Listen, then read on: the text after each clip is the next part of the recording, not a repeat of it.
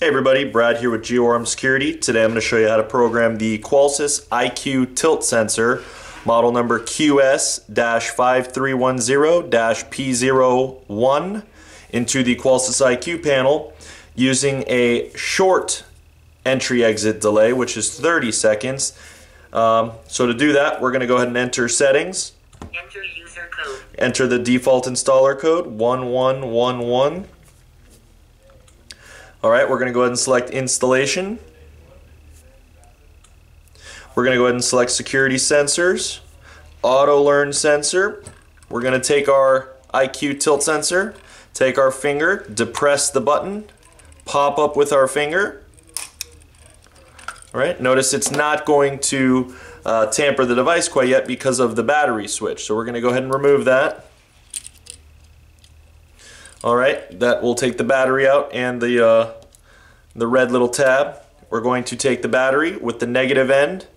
This is positive, this is negative, it'll also say in the battery. Slide the negative end in partially. Go ahead and pop in the battery and you'll see that it tampers. Alright, we're going to go ahead and seal the device back up. Alright, it's going to ask us if we want to continue uh, adding the sensor. Select OK. All right, now it's going to uh, it's to prompt us a screen where we're going to enter some details on how we want to program this device. All right, so first thing, confirm the serial number on the back of the device. All right, we want to change the sensor type by selecting, scrolling down till you see tilt, which we've located. You can change the chime type, you can change the sensor name for depending on what you're using on.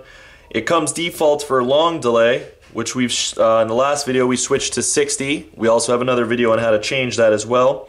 Uh, but now we're going to do a video on entry exit normal delay, which is 30 seconds.